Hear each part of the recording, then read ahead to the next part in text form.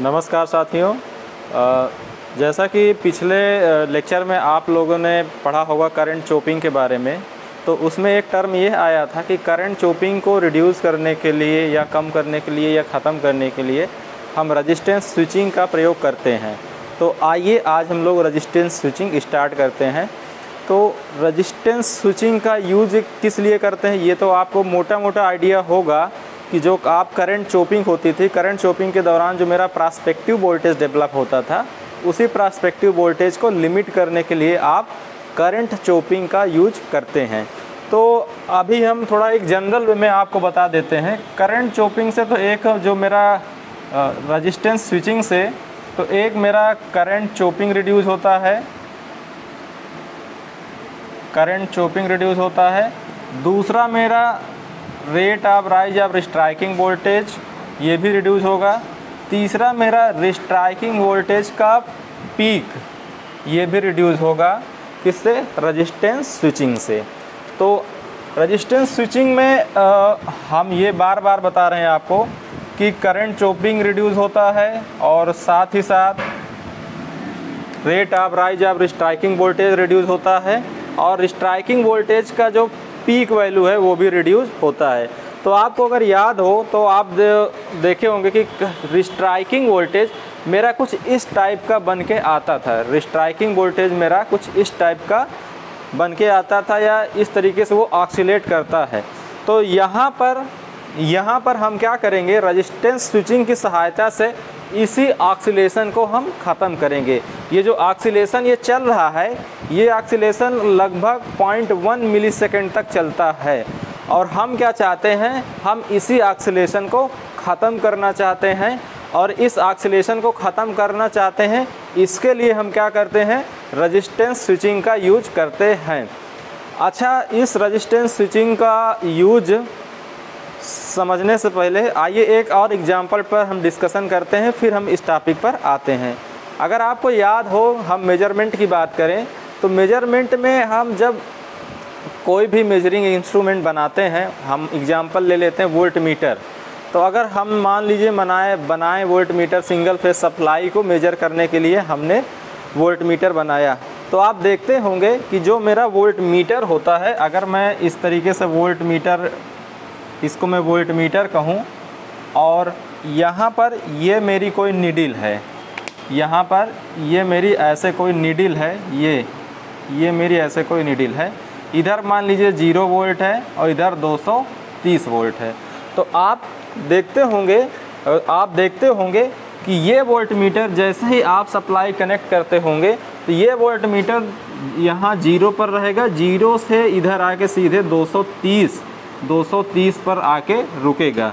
लेकिन 230 पर आके सीधे नहीं रुकता है, ये 230 पर कुछ इस तरीके से ऑक्सीलेट करता है। ऐसे ऐसे 230 के आगे, पीछे आगे, पीछे ऑक्सीलेट करते करते करते धीरे धीरे जाके 230 पर रुकता है। अगर 230 वोल्ट की सप्लाई में कनेक्ट करता हूँ, तब।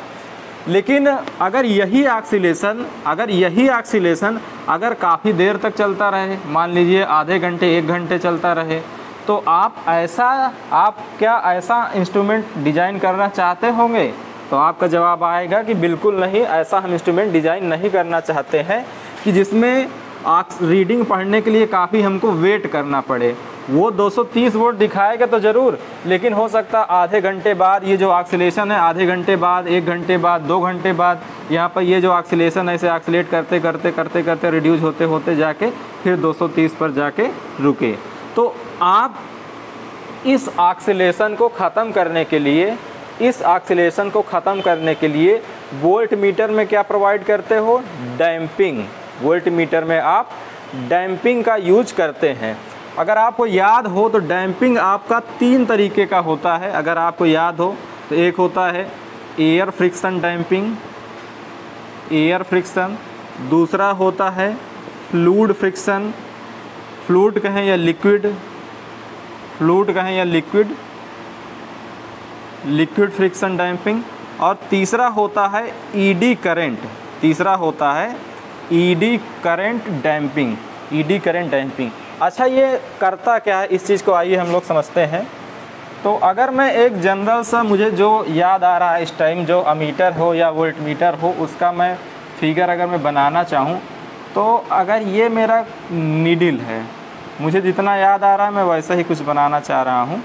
ये मेरा निडिल है और इसमें ये लिखा हुआ ये मान लीजिए ज़ीरो है, ये 230 तक का है।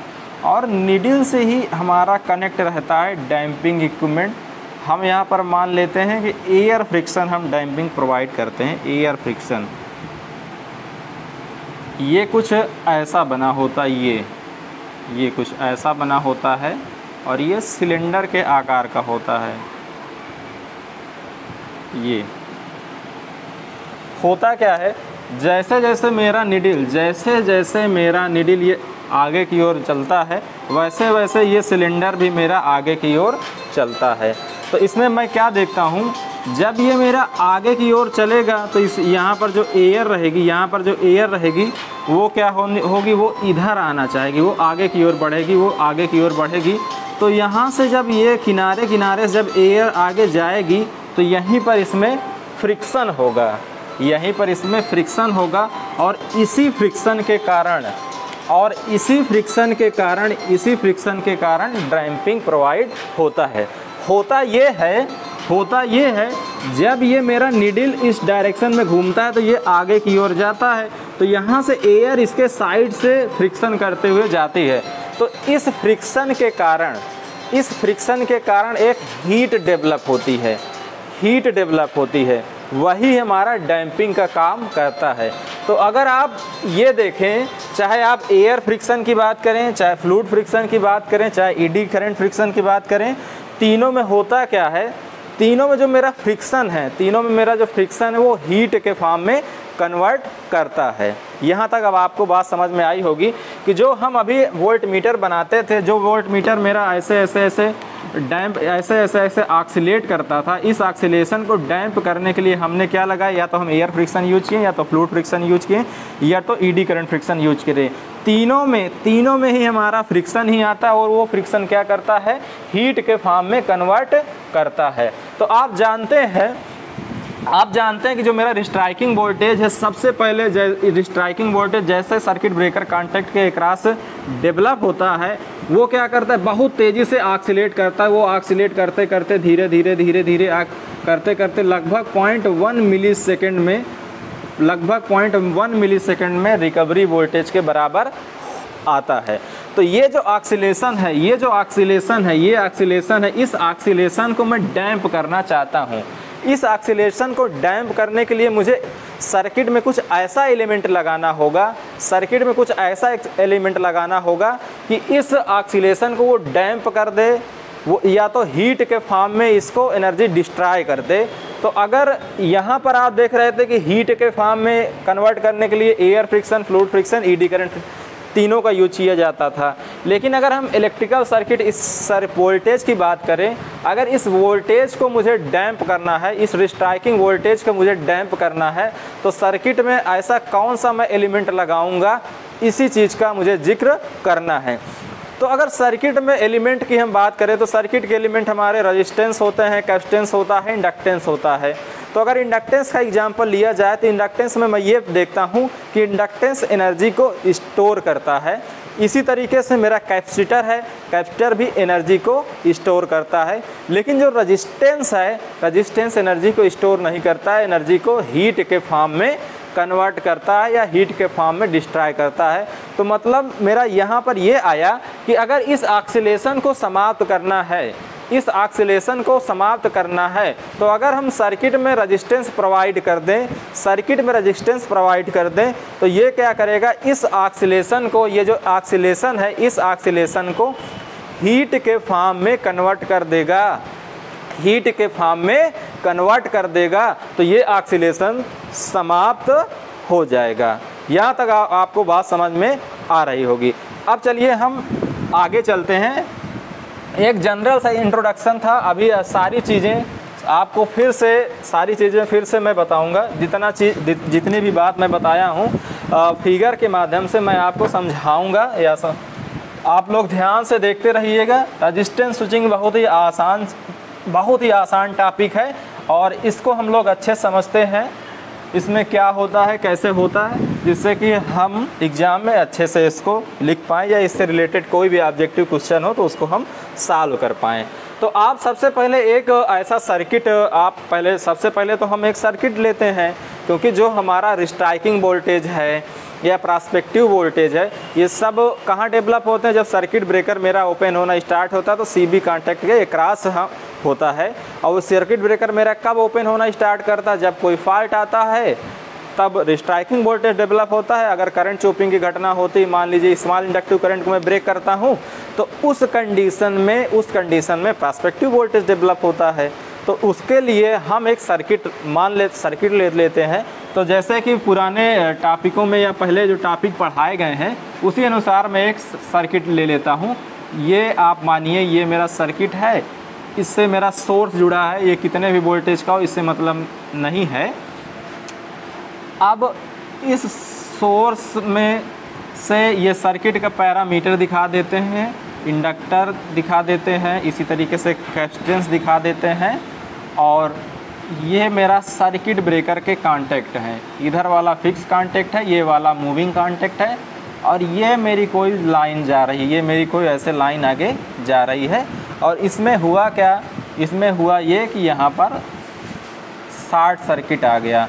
रजिस्टेंस हमने इस सर्किट का, इस सर्किट का क्यों नहीं शो किया? रजिस्टेंस हम इसलिए शो नहीं किए हैं क्योंकि जब लाइन मेरी शार्ट सर्किट की कंडीशन में होगी तो उस टाइम रजिस्टेंस लगभग ज़ीरो के बराबर होगा, इसलिए हम रजिस्टेंस नहीं शो किए हैं। और हम रजिस्टेंस स्विचिंग यूज़ करते हैं। रजिस्टेंस स्विचिंग कहाँ पर लगाते हैं? वो सर्किट ब्रेकर के कांटेक्ट के क्रॉस लगा देते हैं। तो ये मेरा मान लीजिए जो रजिस्टेंस स्विचिंग के लिए मैंने रजिस्टेंस लगाया हूँ, ये रजिस्टेंस मेरा वेरिएबल रजिस्टेंस होता है। यहाँ तक समझने में तो कोई दिक्कत आ नहीं रही होगी, मैं समझता हूँ। अब एक फिगर में और ड्रा करता हूँ, एक फिगर में और ड्रा करता हूँ। ये देखिए मान लीजिए ये बस बार है। ये आपका क्या है? बस बार है। वो कितने भी के का बस बार हो, इससे मतलब नहीं है। रजिस्टेंस स्विचिंग हमें समझना है। ये बस बार हो। जैसा कि आप जानते हो, जब बस बार से मैं आगे बढ़ता हूँ तो उसमें बस आइसोलेटर होता है सर्किट ब्रेकर होता है सीटी होता है सर्किट तो ऐसे आगे करके फिर लाइन आइसोलेटर होता है, तब कहीं जाके सप्लाई हमारे लोड को जाती है। लेकिन ये सब यहाँ पर मैं ड्रा नहीं करूँगा। मैं केवल सर्किट ब्रेकर के कॉन्टेक्ट शो करूँगा। मैं आपको रजिस्टेंस स्विचिंग समझाना चाहता हूँ। ये मेरा रजिस्ट ये मेरा सर्किट ब्रेकर का कॉन्टेक्ट है। ये। अगर ये मेरा एफ़ लिख दिया, ये मेरा फिक्स कॉन्टेक्ट हो गया। और इसी से जुड़ा हुआ, इसी से जुड़ा हुआ, इसी से जुड़ा हुआ एक मेरा मूविंग कॉन्टेक्ट है। इसी से जुड़ा हुआ क्या है मेरा एक? मूविंग कॉन्टेक्ट है। ये। और ये सप्लाई मेरी जा रही है। हाँ एक चीज़ यहाँ पर ध्यान देने वाली बात ये है कि जो मैं यहाँ पर रजिस्टेंस कनेक्ट करता हूँ, एक स्पेयर गैप की सहायता से कनेक्ट करता हूँ, वो स्पेयर गैप क्यों करता हूँ? अभी आपको सब पता चल जाएगा, आप इसको देखते रहिए। ये देखिए, ये मेरा स्पेयर गैप हो गया, फिर मैं एक रजिस्टेंस कनेक्ट कर दिया हूँ, और ये ये मैं रजिस्टेंस कनेक्ट कर दिया हूँ। अब चूँकि देखिए फिक्स कांटेक्ट और मूविंग कांटेक्ट दोनों क्लोज हैं या जुड़े हैं तो इसका मतलब ये है कि ये सर्किट की हेल्दी कंडीशन होगी। तो मैं इस चीज़ को यहाँ पर लिख देता हूँ। हेल्दी कंडीशन हेल्दी कंडीशन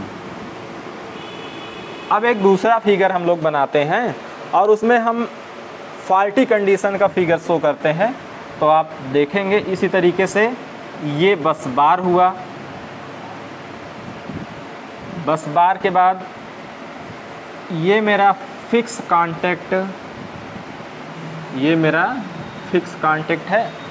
और क्योंकि इसमें फॉल्ट है तो ये ओपन होगा। सर्किट ब्रेकर का कांटेक्ट ओपन होगा।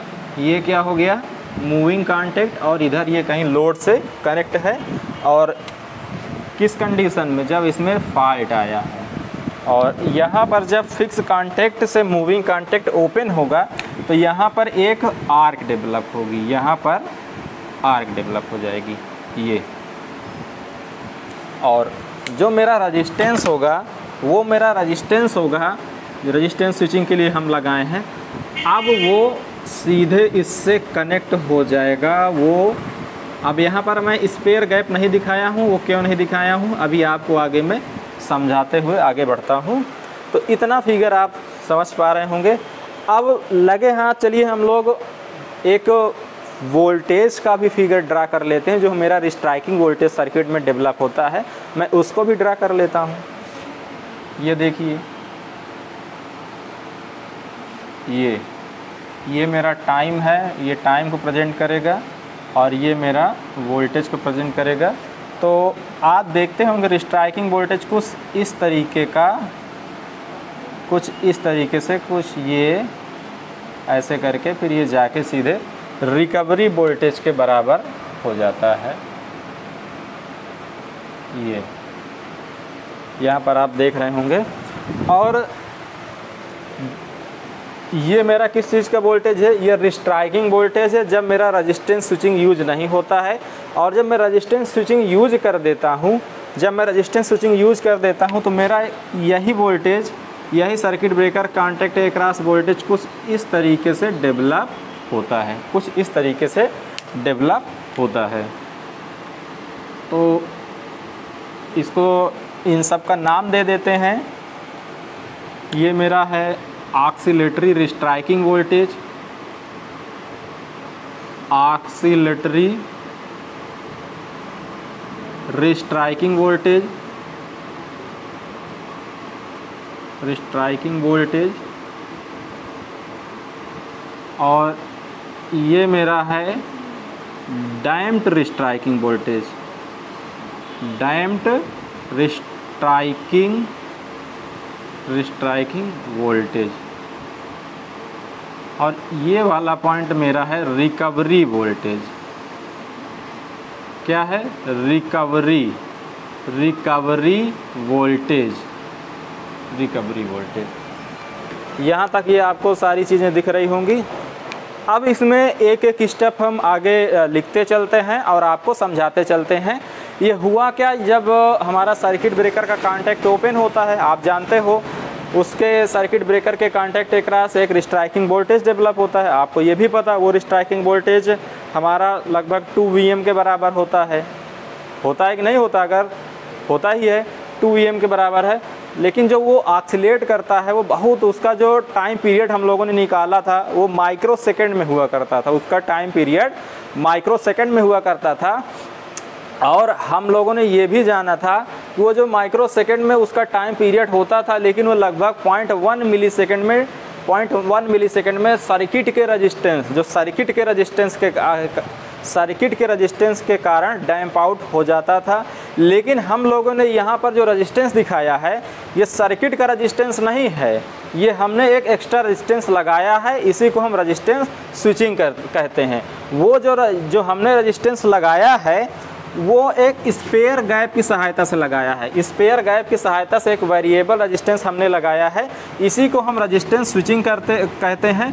रजिस्टेंस स्विचिंग की सहायता से क्या होता है? अभी आपको हमने बताया था कि रिस्ट्राइकिंग वोल्टेज रिड्यूज होता है। जो रिस्ट्राइकिंग वोल्टेज है या जो सर्ज वोल्टेज है या जो प्रास्पेक्टिव वोल्टेज है उसका मान घटता है, उसका मान रिड्यूज़ होता है। तो आप देखिए रिस्ट्राइकिंग वोल्टेज लगभग इसका पीक यहाँ तक जा रहा था, लेकिन हम, हमारा जो घट के कहाँ तक आ गया? यहाँ तक आ गया।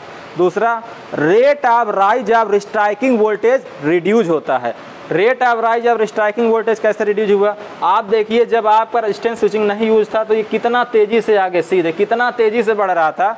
लेकिन जब आपने रजिस्टेंस स्विचिंग यूज़ कर लिया तो रजिस्टेंस स्विचिंग यूज़ कर लिए तो आप देखते हैं ये इसकी तुलना में ये वाला घट गया। डैम्प रजिस्टेंस स्विचिंग आपने जैसे यूज़ किया, डैम्पिंग के कारण ये आपका इसका वोल्टेज घट गया। तो आप यहाँ पर ये देखते हैं कि rate of rise of striking voltage भी घट रहा। अगर rate of rise of striking voltage घटेगा तो आर्क बुझाना ज़्यादा आसान होगा।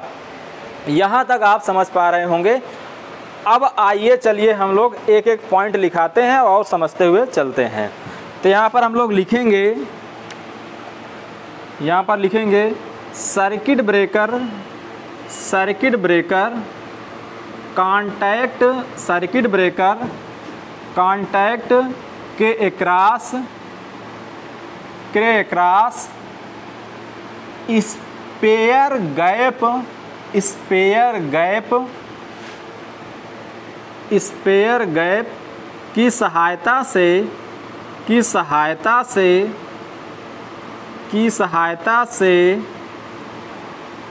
एक एक वेरिएबल वेरिएबल रजिस्टेंस एक वेरिएबल रजिस्टेंस लगाते हैं लगाते हैं, जिसे जिसे जिसे रजिस्टेंस स्विचिंग कहते हैं। रजिस्टेंस स्विचिंग रजिस्टेंस स्विचिंग कहते हैं। आप यहाँ देख रहे होंगे, ये स्पेयर गैप है, ये सर्किट ब्रेकर का कांटेक्ट ये फिक्स कांटेक्ट है, ये मूविंग कांटेक्ट है। इसके अक्रॉस हमने ये स्पेयर गैप की सहायता से एक वेरिएबल रजिस्टेंस लगाया। अब दूसरे पॉइंट में होता क्या है, जब मेरा फॉल्ट आता है जब मेरा फॉल्ट आता है तो फॉल्ट आने पर होता है कि जैसे ही मेरा ये सर्किट ब्रेकर का कांटेक्ट ओपन होना स्टार्ट करता है, जैसे सर्किट ब्रेकर का कांटेक्ट यहाँ पर ओपन होना स्टार्ट करेगा, आप यहाँ पर ध्यान दीजिएगा, अगर मेरा ये फिक्स कांटेक्ट है, ये मेरा मूविंग कांटेक्ट है, और यहाँ पर मान लीजिए ये सोर्स है, ये ऐसे सोर्स कनेक्ट है, ये। ये कुछ ऐसा यहाँ पर शार्ट सर्किट आपका आया हुआ है। और यहाँ पर ये स्पेयर गैप है और ये आपका रजिस्टेंस है। ये रजि, ये वाला रजिस्टेंस है। तो आपका देखिए, आपका जैसे सर्किट ब्रेकर ओपन होगा, जो यहाँ वोल्टेज, ये वाला जो वोल्टेज है, ये वोल्टेज देखिए कहाँ अप्लाई होगा? यहाँ पर अप्लाई होगा कि नहीं होगा? इसके इसके बीच ये आपका वोल्टेज भी आपका अप्लाई होगा। और चूँकि ये और ये दोनों पैरेलल हैं तो इसके बीच भी यही वोल्टेज सेम वोल्टेज यहाँ भी अप्लाई हो जाएगा।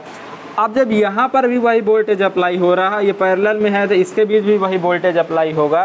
तो इसका मतलब ये हुआ, यहाँ भी आर्क बन जाएगी और यहाँ भी आर्क बन जाएगी। और जब यहाँ आर्क बनी, जब ये स्पेयर गैप में आर्क बनी तो ये मेरा रजिस्टेंस क्या होगा? एक तरीके का शार्ट सर्किट की तरह बिहेव करेगा। होगा कि नहीं होगा? तो यही चीज़ आइए हम लोग लिखते हैं। अगला पॉइंट लिखिए। फॉल्ट की कंडीशन में, अगला पॉइंट लिखिए। फॉल्ट की कंडीशन में फॉल्ट की कंडीशन में कंडीशन में spare gap spare gap spare gap automatically automatically short short हो जाता है शार्ट हो जाता है, तथा तथा आर्क के आर्क के आर्क के पैरेलल में पैरेलल में कनेक्ट कनेक्ट हो जाता है, हो जाता है। यहाँ पर देखिए हम क्या बता रहे हैं। सर्किट ब्रेकर का जो ये स्पेयर गैप था, रजिस्टेंस स्विचिंग का स्पेयर गैप था, ये क्या हुआ? आयनाइज हो गया और ये आयनाइज होने के कारण ये रजिस्टेंस मेरा शार्ट हो गया। अब जो मेरी सर्किट ब्रेकर के कांटेक्ट कांटेक्ट के क्रॉस जो आर्क था, उसके पैरेलल में ये मेरा रजिस्टेंस कनेक्ट हुआ। अब जब इसके पैरेलल में रजिस्टेंस कनेक्ट हो जाएगा तो यहाँ से जो मेरी फॉल्ट करंट फ्लो हो रही थी, यहाँ से जो मेरी फॉल्ट करंट यहाँ से जो मेरी फॉल्ट करंट फ्लो हो रही थी, वो फॉल्ट करंट अब दो भाग में बांट जाएगी। एक भाग कहाँ से जाएगा? इस रजिस्टेंस के थ्रू जाएगा और एक भाग इसके थ्रू जाएगा। तो यही चीज़ को आइए हम लोग लिख दे, लिख लेते हैं। यहाँ पर लिखिए लिखिए, इस स्थिति में, इस स्थिति में हार्ट करेंट हार्ट करेंट दो भागों में, दो भागों में बट जाएगी बट जाएगी बट जाएगी। एक भाग एक भाग रजिस्टेंस से, एक भाग रजिस्टेंस से तथा दूसरा भाग तथा दूसरा भाग आर्क आर्क की सहायता से सहायता से सहायता से फ्लो होगा फ्लो होगा। हमने क्या लिखाया? एक भाग यहाँ से जो करंट फ्लो हो रही थी, एक भाग यहाँ से फ्लो होना स्टार्ट कर दिया और दूसरा भाग यहाँ से फ्लो होना स्टार्ट कर दिया। एक भाग रजिस्टेंस की सहायता से फ्लो कर रहा है, इस रजिस्टेंस की सहायता से फ्लो कर रहा है और दूसरा भाग आर्क की सहायता से फ्लो कर रहा है। तो अगर आप ध्यान दीजिए, अगर मेरा ये रजिस्टेंस नहीं होता, ये मेरा रजिस्टेंस नहीं होता तो टोटल की टोटल जो फॉल्ट करेंट थी मेरी इस इधर से फ्लो होना होता उसको। टोटल के टोटल फॉल्ट करंट को इसी रास्ते से फ्लो होना पड़ता। लेकिन जब मेरा यहाँ पर, जब मेरा रजिस्टेंस लगा है, जब मैं रजिस्टेंस स्विचिंग का यूज़ किया हूँ तो मैं क्या देखता हूँ? रजिस्टेंस स्विचिंग के कारण रजिस्टेंस स्विचिंग के कारण ये करंट जो मेरी फाल्ट करंट फ्लो हो रही थी, मेरी फाल्ट करंट दो भागों में बट गई। एक भाग तो एक भाग तो इस आर्क से फ्लो हो रहा है दूसरा भाग इस रजिस्टेंस की सहायता से फ्लो हो रहा। है कहने का मतलब ये है कि इस आर्क करंट की वैल्यू आपकी कम हो जाएगी। आर्क करंट की वैल्यू कम हो जाएगी कि नहीं हो जाएगी? अगर यहाँ करंट कम फ्लो हो रही है तो यहाँ पर आर कम बनेगी। तो आप ये सीधे सीधे कह सकते हैं कि आर करंट की वैल्यू कम हो जाएगी। अगर आर करंट की वैल्यू कम होगी तो आपका सीधा मतलब है आयनाइजेशन कम होगा आर का रजिस्टेंस बढ़ जाएगा। इस कंडीशन में आर्क को क्विंच करना या आर्क को बुझाना ज़्यादा आसान होता है। तो होता क्या है? इसकी वजह से यहाँ इस सर्किट ब्रेकर के कांटेक्ट क्रॉस आर्क मेरी बुझ जाती है या डायलेक्ट्रिक मीडियम की सहायता से आर्क मेरी डी हो जाती है। अब इसी चीज़ को आइए हम लोग अगले पॉइंट में लिख लेते हैं। इसको मैं हटा देता हूँ, फिर उसके बाद लिखता हूँ।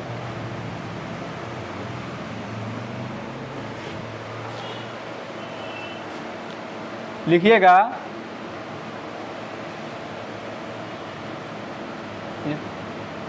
लिखिए। इस स्थिति में, इस स्थिति में स्थिति में आर्क आर्क की सहायता से सहायता से सहायता से बहने वाली बहने वाली बहने वाली fault current fault current fault current घट जाएगी घट जाएगी घट जाएगी, जो कि जो कि जो कि dielectric medium dielectric dielectric dielectric medium की सहायता से, डाइलेक्ट्रिक मीडियम की सहायता से D ionise D ionise D ionise हो जाएगी। तो जब यहाँ पर आर्क आपकी ब्रेक हो गई, जब आर्क आपकी ब्रेक हो गई या आर्क आपकी डी आयोनाइज हो गई। तो इसका मतलब ये हुआ कि आपका सर्किट ब्रेकर पूरी तरीके से ओपन हो गया। अब कोई फॉल्ट करंट प्रवाहित नहीं होगी और इस कंडीशन में होगा क्या? जब मेरी कोई फॉल्ट करंट प्रवाहित नहीं होगी मतलब ये हुआ कि सर्किट ब्रेकर के बीच डायलेक्ट्रिक मीडियम मेरा इतना ज़्यादा आ गया कि वो करंट को ब्रेक कर चुका है, फॉल्ट करंट को ब्रेक कर चुका है तो उस कंडीशन में कोई फॉल्ट करंट नहीं प्रवाहित होगी। जब कोई फॉल्ट करंट प्रवाहित नहीं होगी तो उस कंडीशन में होगा क्या? जो मेरा यहाँ पर स्पेयर गैप था, जो शार्ट हो गया था, वो स्पेयर गैप, वो स्पेयर गैप पुनः बन जाएगा। वो स्पेयर गैप पुनः बन जाएगा। तो इसी चीज़ को हम लोग लिख लेते हैं। अगला पॉइंट लिखिए। आर्क आर्क एक्सटिंगिश होने के पश्चात आर्क एक्सटिंगिश होने के बाद, आर्क एक्सटिंगिश होने के बाद, spare gap spare gap spare gap, पुनः पुनः मेंटेन मेंटेन हो जाता है। स्पेयर गैप पुनः मेंटेन हो जाता है। होता ये है यहाँ पर जो आर्क मेरी बनी होती, एक फाल्ट के दौरान में एक करंट इस इधर से फ्लो होती है, एक करंट इस रजिस्टेंस के थ्रू फ्लो होती है। तो ये जो रजिस्टेंस के थ्रू फ्लो हो रही है, ये क्या करता है? इसको ज़्यादा से ज़्यादा हीट के माध्यम में कन्वर्ट कर देता है। ज़्यादा से ज़्यादा हीट के माध्यम में कन्वर्ट करता चला जाता है। तो जिससे जो ऑक्सीलेटरी जो ऑक्सीलेशन इसमें डेवलप होता है, जो ऑक्सीलेशन डेवलप होता है, वो रिड्यूज़ हो जाता है। जो ऑक्सीलेशन मेरा डेवलप होता है जो ऑक्सीलेशन ग्रोथ होता है वो क्या होता है? रिड्यूस हो जाता। है वो क्यों रिड्यूस हो गया? क्योंकि हमने रजिस्टेंस स्विचिंग का यूज़ किया और जो रजिस्टेंस स्विचिंग के कारण हुआ क्या? रजिस्टेंस स्विचिंग के, के कारण जो मेरी ऑक्सीलेशन था जो मेरा ऑक्सीलेशन था वो हीट में कन्वर्ट हो गया। वो हीट में कन्वर्ट होकर एटमॉस्फियर में चला गया। तो क्या होगा?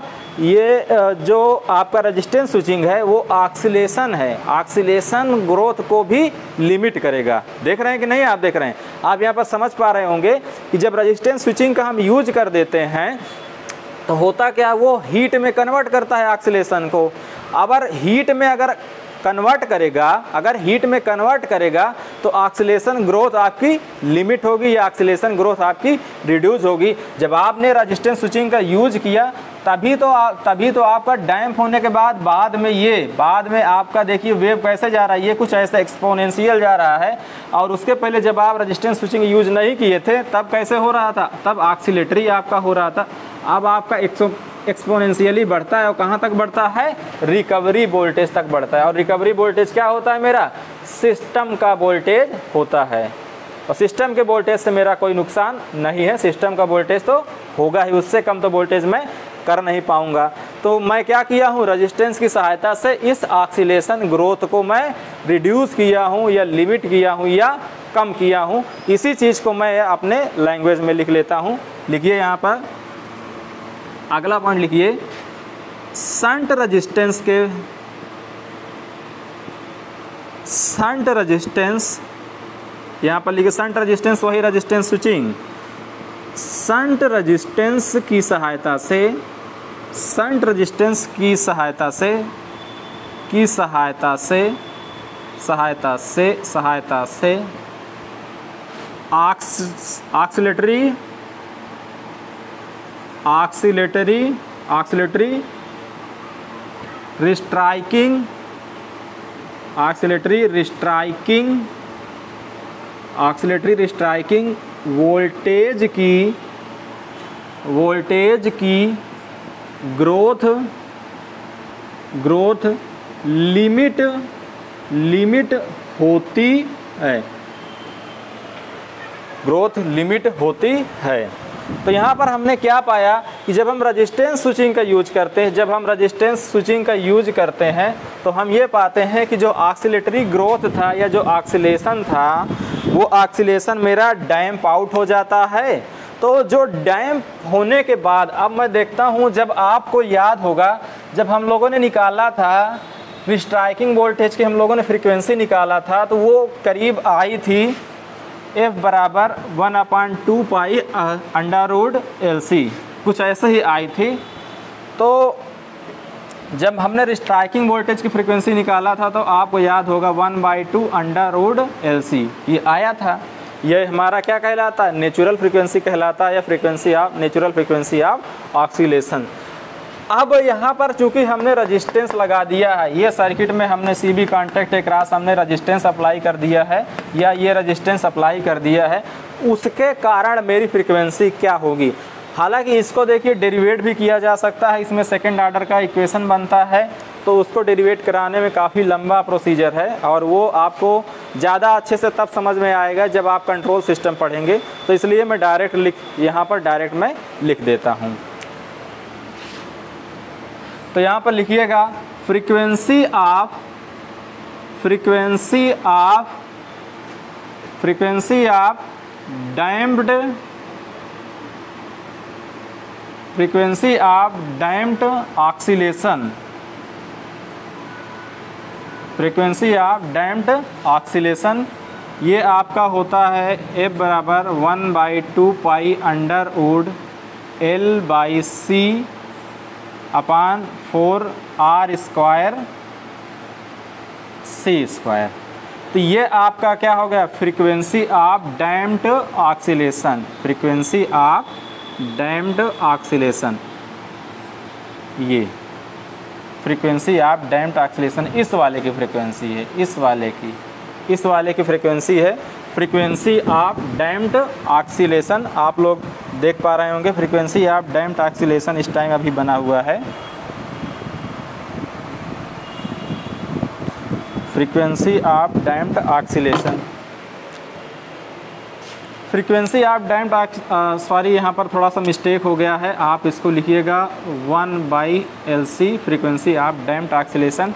तो अगर एक चीज़ यहाँ पर बात ये भी आती है कि ये फ्रीक्वेंसी हमारी अगर ज़ीरो कब होगी तो ज़ीरो होने के लिए हमको रजिस्टेंस का कितना मान लगाना होगा। रजिस्टेंस यहाँ पर जो हमने रजिस्टेंस लगाया है, ये रजिस्टेंस हमने लगाया है। तो इस रजिस्टेंस की मेरी वैल्यू क्या होगी? इस रजिस्टेंस की भी तो कुछ वैल्यू होगी, और वो रजिस्टेंस की वैल्यू हम कैसे निकालेंगे?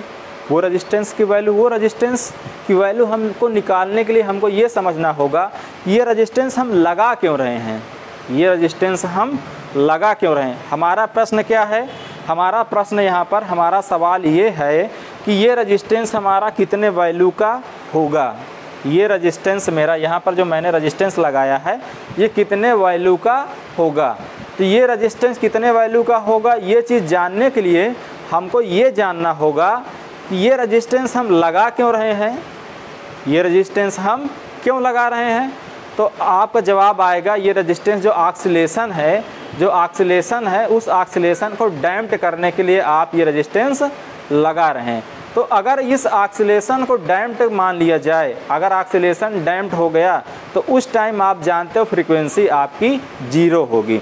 जैसे कि डीसी होता है डीसी में ये जो आपकी डीसी करंट होती है डीसी में कोई ऑक्सीलेशन नहीं होता है।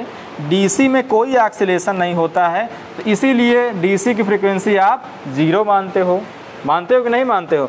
तो आप इसी ऑक्सीलेशन को तो डैम्प्ट करना चाहते हो। इसी ऑक्सीलेशन को तो डैम्प्ट करना चाहते हो। तो यहाँ पर आप फ्रीक्वेंसी का मान क्या रख दोगे? ज़ीरो रख दोगे।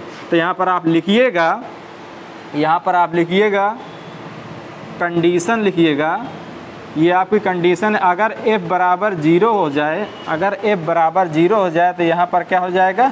नो ऑक्सीलेशन होगा। आपका ऑक्सीलेशन क्या हो जाएगा? ख़त्म हो जाएगा। तो यही चीज़ आप यहाँ पर रख दीजिए। यही चीज़ यहाँ पर रखते हैं। तो एफ़ बराबर ज़ीरो रख दिए। One upon two pi under root one by L C minus one upon four R square C square यहाँ से आप क्या देखेंगे, ये ज़ीरो है। ज़ीरो में, ज़ीरो के बटे मिलाएँगे वन अपान टू पाई तो ये भी ज़ीरो हो जाएगा। तो आपका सीधे सीधे क्या बचा अभी? One upon L C minus one upon four R square C square. ये किसके बराबर होगा? ये ज़ीरो के बराबर होगा। तो अगर इस दोनों साइड का अगर हम वर्क कर दें, दोनों साइड का हम वर्क कर दें तो ये क्या आ जाएगा? One upon L C minus one upon four R square C square बराबर ज़ीरो। यहाँ से आप देखिए, अब इसका वर्ग हो गया, इसका वर्ग हो गया, इस हर वर्ग होगा तो रूट का वर्ग करेंगे तो रूट हट जाएगा, ज़ीरो का वर्ग करेंगे तो ज़ीरो ही हमारा बचेगा, वही चीज़ हम लिख दिए हैं। आप इसको लिख दीजिए, वन अपान एल सी, इसको ज़ीरो पच्छांतर कर दीजिए राइट हैंड साइड ले जाइए तो ये आ जाएगा one upon four R square C square. तो यहाँ से आप देख रहे हैं कि सी से सी से सी आपका ये कट गया, सी इधर कट गया, इधर का ये स्क्वायर आपका कट गया। तो आपका आता यहाँ से है आर स्क्वायर बराबर, आर स्क्वायर बराबर L upon four C square. L upon four C square तो आर बराबर हो जाएगा रूट सी स्क्वायर नहीं बचा सॉरी यहाँ सी का स्क्वायर था स्क्वायर मेरा कट गया, एक सी कटा तो इधर का स्क्वायर चला जाएगा। तो यहाँ पर मैं लिखूँगा एल अपान फोर सी और ये जो आर स्क्वायर था पच्छांतर करके लेफ़्ट लेफ़्ट हैंड साइड हमने ले लिया। तो यहाँ पर बचा फोर सी तो आप यहाँ पर ये देखते हैं, आपका रजिस्टेंस का मान आता है वन बाई फोर का आप रूट ले लेंगे तो वन बाई टू आ जाएगा और ये आएगा under root L by C. ये आपका क्या है? ये आपका रजिस्टेंस का मान है, ये आपका कहलाता है critical resistance it is called critical critical resistance critical resistance critical resistance का मतलब ये हुआ क्रिटिकल रजिस्टेंस का मतलब ये हुआ कि आप अगर इस मान का, अगर इस वैल्यू का, इस वैल्यू का आप अगर रजिस्टेंस लगा देंगे तो बिल्कुल भी ऑक्सीलेशन सर्किट में नहीं होगा। बिल्कुल भी सर्किट में ऑक्सीलेशन नहीं होगा। इसका मतलब ये होगा, अगर आप इसको समझना चाहें, अगर फिर हम वही अगर वोल्ट मीटर की भाषा में कहें तो अगर ये मेरा कोई वोल्ट मीटर था, ये इसकी निडिल थी, ये आपकी निडिल थी, यहाँ पर ये 230 वोल्ट लिखा है तो अगर इसमें हम कोई भी, अगर इसमें हम कोई भी डैम्पिंग प्रोवाइड ना करें, इस वोल्ट मीटर में हम कोई भी बिल्कुल भी डैम्पिंग ना प्रोवाइड करें तो जैसे इसमें 230 वोल्ट की हम सप्लाई कनेक्ट करेंगे तो ये 230 वोल्ट के पास यहाँ पर ज़ीरो है, यहाँ पर ज़ीरो है। यहाँ पर ज़ीरो है और ये ज़ीरो से बढ़ेगा ज़ीरो से बढ़ेगा 230 तक आएगा और ये आके ऐसे यहाँ पर फ्लक्चुएट करता रहेगा करता रहेगा करता रहेगा, ऐसे ही करता ही रहेगा। लेकिन अगर यहाँ पर हमने डैम्पिंग प्रोवाइड कर दिया, अगर हमने यहाँ पर डैम्पिंग प्रोवाइड कर दिया तो ये यहाँ पर आएगा हल्का सा फ्लक्चुएट होने के बाद रुक गया। तो अगर ये जो हम डैम्पिंग यहाँ पर प्रोवाइड करते हैं, अगर उस डैम्पिंग की डैम्पिंग की वैल्यू थोड़ा सा कम रह गई, अगर थोड़ा सा कम रह गई तो ये ज़ीरो से आगे बढ़ेगा 230 पर आए, ये डैम करेगा, लेकिन ये थोड़ा सा ज़्यादा देर तक ऐसे डैम करता करता रहेगा, ये फ्लक्चुएट करता रहेगा फ्लक्चुएट करते करते करते करते, फिर यहाँ पर जाके स्थिर होगा। लेकिन अगर एकदम एक्चुअल मान का हम फ्रिक्शन दे दें एक्चुअल जितना हमको चाहिए तो वो सीधे ज़ीरो से उठेगा, सीधे जाएगा, यहाँ पर ये 230 पर रुक जाएगा, ना तो आगे होगा, ना तो पीछे होगा। तो क्रिटिकल रजिस्टेंस का मतलब यही हुआ जैसे ये ज़ीरो से सीधे बढ़ा हमारा पॉइंटर सीधे 230 पर आके रुक गया। हालाँकि आप जो भी वोल्ट मीटर अपने घरों में देखते हैं या कहीं बाहर देखते हैं, सब में डैम्पिंग रहती है। लेकिन आप देखते हैं कि जैसे ही या तो आप जब डिप्लोमा कर रहे थे तो आप लाइव में देखे होंगे। जैसे 230 वोल्ट हम प्रोवाइड करते थे तो ये ज़ीरो से बढ़ता था और 230 पर आके हल्का सा हल्का सा फ्लक्चुएट करता था हल्का सा ऑक्सीट करता था, उसके बाद 230 पर जाके रुक जाता था। लेकिन अगर क्रिटिकल डैम्पिंग की बात की जाए क्रिटिकल डैम्पिंग की बात की जाए तो वहाँ पर बिल्कुल भी ऑक्सीलेशन नहीं होना चाहिए। तो ज़ीरो से बढ़ेगा, सीधे 230 पर जाके रुक जाएगा। तो यही चीज़ यहाँ पर हो गया जो क्रिटिकल रजिस्टेंस की जो मेरी वैल्यू है। क्रिटिकल रजिस्टेंस की वैल्यू का मतलब ये हुआ कि जो मेरा डैम्पिंग के बाद जो मेरा वेव बना जो मेरा डैम्पिंग के बाद वेव बना, वो बिल्कुल भी फ्लैक्चुएट नहीं करेगा, वो जाएगा सिस्टम वोल्टेज के बराबर आके रुक जाएगा, या तो कहें कि रिकवरी वोल्टेज के बराबर जाकर रुक जाएगा। यहाँ तक आपको बात समझ में आ गई होगी। अगर इस रजिस्टेंस अगर इस रजिस्टेंस की वैल्यू अगर इस रजिस्टेंस की वैल्यू यहाँ पर जो हमने रजिस्टेंस किया है कनेक्ट अगर इसकी value one by two under root L by C के बराबर हुआ तो ये कहलाएगा क्रिटिकली डैम्प्ड क्रिटिकली डैम्प्ड का मतलब होता है कि इसमें बिल्कुल भी फ्लक्चुएसन नहीं होगा, जाके ये चीज़ यहाँ पर रुक जाएगी। अब अगर इससे कम हुआ या इससे ज़्यादा हुआ, ये जो क्रिटिकल रजिस्टेंस है, ये जो क्रिटिकल रजिस्टेंस है, अगर क्रिटिकल रजिस्टेंस जो हमने रजिस्टेंस लगाया है, अगर उसका मान उससे कम रहा या उससे ज़्यादा हुआ तो उस कंडीशन में क्या प्रभाव पड़ेगा? तो एक बार फिर से हम वोल्ट मीटर का एग्ज़ाम्पल लेते हैं, फिर उसके बाद आपको समझाने का प्रयास करते हैं। ये मान लीजिए फिर से वही मेरा, ये मेरा वोल्ट मीटर है, आप समझ पा रहे होंगे। ये वोल्ट मीटर है। यहाँ पर ये ज़ीरो है, इधर हम 230 वोल्ट लिखते हैं। अगर यहाँ आता 230 ये मेरा ज़ीरो है। तो अभी मेरा, मान लीजिए ये मेरा पॉइंटर है, और ये पॉइंटर कहाँ से स्टार्ट करता? है ये पॉइंटर मेरा ज़ीरो से स्टार्ट करता है 230 की ओर जाता है। अगर आप केवल समझिएगा क्रिटिकल डैम्प का मतलब क्या हुआ? अगर क्रिटिकल डैम्प से अगर कम डैम्प किया जाएगा तो उस कंडीशन में ये जो पॉइंटर है, ये जो पॉइंटर यहाँ से बढ़ेगा और ये धीरे, ये ऐसे बार बार, ऐसे ऐसे ऐसे ऐसे फ्लक्चुएट करता रहेगा, करते करते करते करते करते, काफ़ी देर बाद यहाँ पर रुकेगा। बात समझ रहे होंगे? अगर क्रिटिकल डैम्प्ड की बात की जाए जब क्रिटिकल डैम्प्ड के बराबर अगर मान लगा देंगे तो उस टाइम होगा क्या? ज़ीरो से बढ़ेगा, सीधे जाएगा 230 पर जाके रुक जाएगा। लेकिन अगर क्रिटिकल डैम से अधिक, अगर क्रिटिकल डैम से अधिक वैल्यू लगा दी जाए तो वो ज़ीरो से बहुत धीरे धीरे बढ़ेगा, बहुत धीरे धीरे धीरे धीरे धीरे बहुत धीरे धीरे हो सकता दो घंटा, चार घंटा, दस घंटा लग जाए 230 वोल्टेज पहुँचने में। तो हम क्या चाहते हैं कि हम क्रिटिकल डैम्ड के आसपास क्रिटिकल रजिस्टेंस के आसपास का ही रजिस्टेंस सेलेक्ट करें। अगर क्रिटिकल रजिस्टेंस के बराबर रजिस्टेंस हम सेलेक्ट कर पा रहे हैं तो ये हमारे लिए ज़्यादा अच्छा होगा। तो आइए इसी चीज़ को थोड़ा सा पॉइंट वाइज हम लिख लेते हैं। ये मैं इसको हटाता हूँ और मैं समझता हूँ कि आपको समझ में आ रहा होगा। तो आप समझ पा रहे होंगे कि रजिस्टेंस की वैल्यू हमारी कितनी होनी चाहिए। रजिस्टेंस की वैल्यू मेरी होना चाहिए one upon two under root L by C. अगर ये रहा रजिस्टेंस तो ये मेरा कहलाएगा क्रिटिकली डैम्प्ड ये मेरा क्या कहलाएगा? क्रिटिकली डैम्प्ड अगर इससे कम हुआ तो ऑक्सीलेशन होगा। इससे कम हुआ तो होगा, लेकिन लेकिन कम ऑक्सीलेशन होगा। अगर रजिस्टेंस नहीं होता उस उस टाइम में तो ज़्यादा ही होता। तो अब यहाँ पर लिखिएगा if if value of ah value of R R मतलब critical resistance less than less than one by two under root L by C तो यहाँ पर लिख दीजिए ऑक्सीलेशन आकर। यहाँ पर लिख लीजिए या तो आप लिख सकते हैं no arc there will be oscillation there will be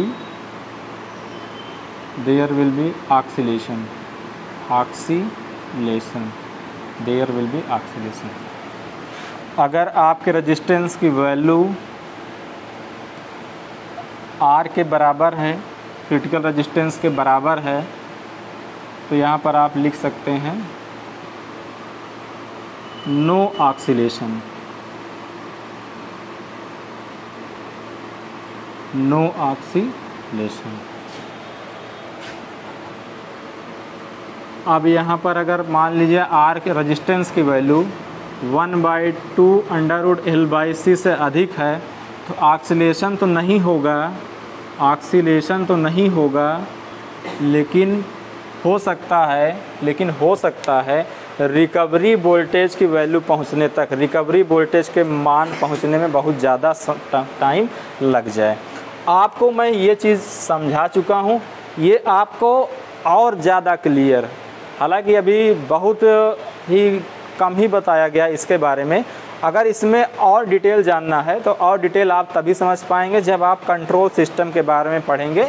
वहाँ से आपको समझ में आ जाएगा कि आर की वैल्यू हम कितना सेलेक्ट करेंगे तो कब आपका जल्दी सेटल होगा पॉइंट या उसका सेटलिंग टाइम क्या होगा? ये चीज़ जब आप कंट्रोल सिस्टम पढ़ेंगे, तब आप समझ पाएँगे। अभी आप इतना इतना आप ऑब्जेक्टिव के लिहाज से, इतना ऑब्जेक्टिव के लिहाज से आप याद कर लीजिएगा।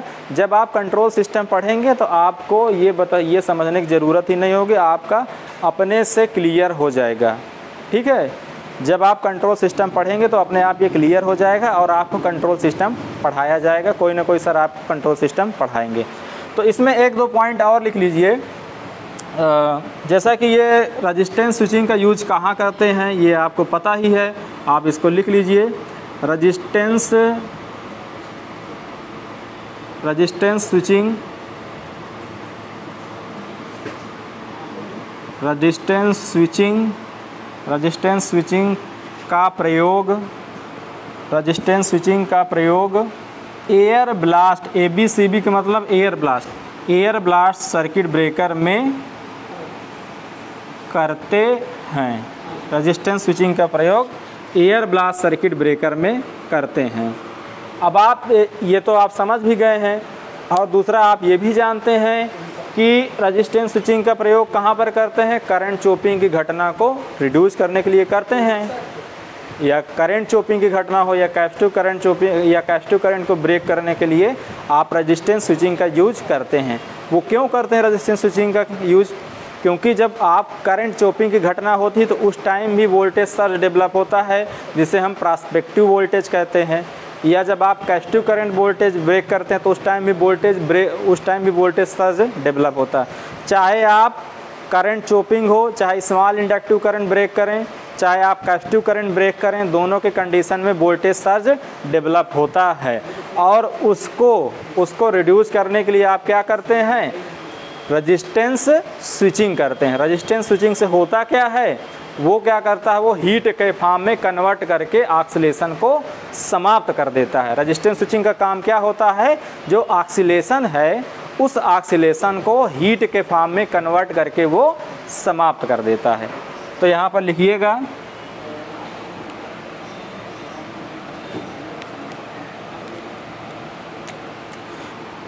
रजिस्टेंस स्विचिंग की सहायता से रजिस्टेंस रजिस्टेंस स्विचिंग की सहायता से, रजिस्टेंस स्विचिंग की सहायता से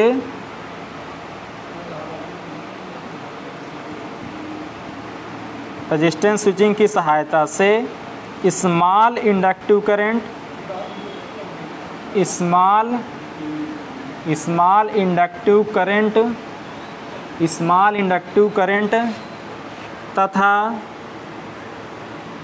कैपेसिटिव करंट तथा कैपेसिटिव करंट कैपेसिटिव करंट को आसानी से आसानी से आसानी से ब्रेक ब्रेक किया किया जा सकता है।